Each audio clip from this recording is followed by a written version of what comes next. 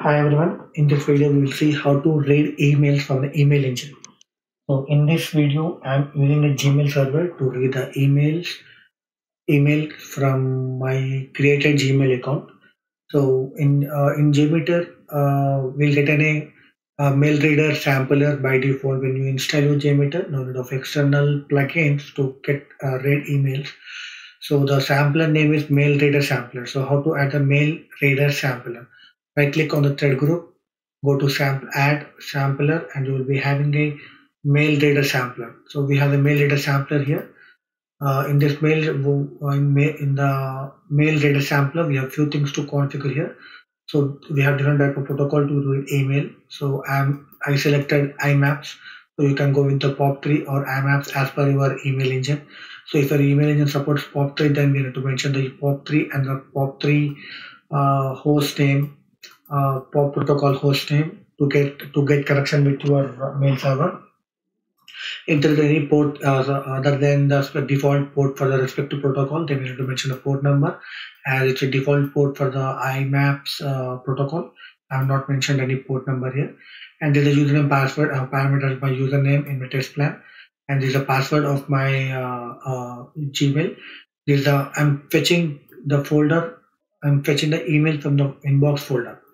So if you want to go with a specific folder uh, like spam, sent or different folders you created in your mail engine, then you can be able to mention the folder name here.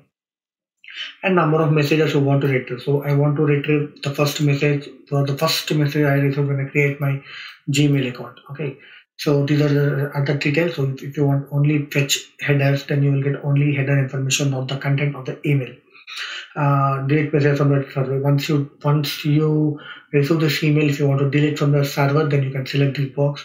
Uh, store the message using MIME So if you click this, you need to get a one more uh, box to save the content in your local folder. Okay, and I'm using uh, Start TLS, so I'm using Start TLS uh, security instead of SSL. So as per your server configuration, if you're already enabled TLS, go for the TLS. If you want to use SSL, and it is configured on the email server, then go with the SSL codes up to you. And uh, uh, I'm allowing all certificates to uh, as a trusted to uh, avoid security exception. Okay, so now I'm reading the only one email from my inbox. So just run it. Yeah, I got my email. This is the first email which I got it when I create my Gmail account. So this is the first account which I, I created. So if for multiple uh, multiple mails, so just mention the uh, details here. So just just mention the 15 so something like I have given uh, emails. Let's run it again. Let's run it again. This is a previous sampler and this is the latest sampler. Because we have only seven emails final totally, uh, not seven nine emails. So this is high, which I made as a template, uh, simple uh, test testament test email, so which I got it from uh, detail, details. This is another email, so we have all the emails. So this is how we need to use our email engine, friends. So to read your email or to send an email from your email engine, so if there is any whitelisting required, then we need to add whitelisting of your IP, your IP from where you're sending or reading your emails using JMeter or any other software any other framework or software. So you need to whitelist your public IP in your uh, email engine.